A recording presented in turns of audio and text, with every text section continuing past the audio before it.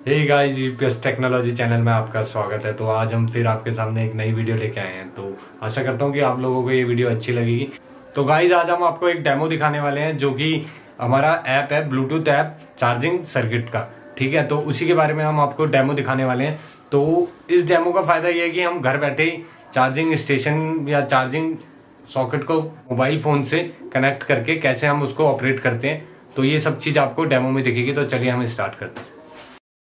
तो गाइज़ आप लोग देख सकते हैं कि ये हमारा एक ब्लूटूथ चार्जिंग सिस्टम है। ये एक चार्जर है, ठीक है? और आपका एक क्लैम मीटर है, ठीक है? ये बैटरी है क्लैम मीटर है, ठीक है? तो आप लोग देख सकते हैं कि अभी हम इसको कनेक्ट करते हैं, ठीक है? और इसको कनेक्ट करेंगे हम। जैसे हम कनेक्ट करेंगे तो चार्जर पे लाइट शो हो जाएगी। और यहाँ देखिए, यहाँ आपका क्लैम मीटर में कोई भी लोड शो नहीं हो रहा है। अब हम इसको इस कनेक्टर को इसको पावर सप्लाई से लगाते हैं। जैसे हम पावर सप्लाई से लगाएँगे तो भी इसमें लोड शो नहीं होगा। लोड इसलिए शो नहीं होगा क्योंकि हम इसको कंट्रोल कर रहे हैं अपने ऐप से।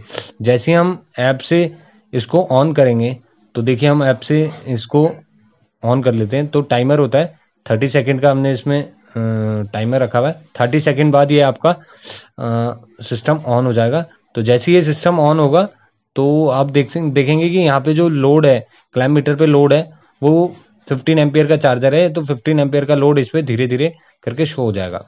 तो ये हमने स्टार्ट कर दिया है।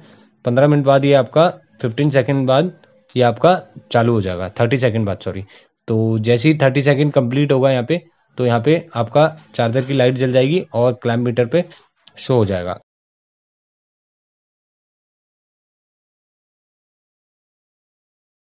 देख सकते हैं सिक्स फाइव जैसे ये ज़ीरो होगा, और यहाँ पे आपका लोड स्टार्ट हो जाएगा। तो यहाँ पे चार्जर की लाइट ऑन हो गई है, ठीक है? जैसे चार्जर की लाइट ऑन हुई है, ये चार्जिंग ब्लिंक करने लग गया अब यहाँ पे आप क्लैम मीटर पे देखिए कि धीरे धीरे एम्पियर बढ़ रहा है तो ये 15 एम्पियर का चार्जर है तो 15 एम्पियर तक ये पे लोड जाएगा, ठीक है? 15 एम्पियर तक ये लोड जाएगा। तो आप ये देख रहे हैं कि 15 एम्पियर तक ये लोड जाएगा, ठीक है?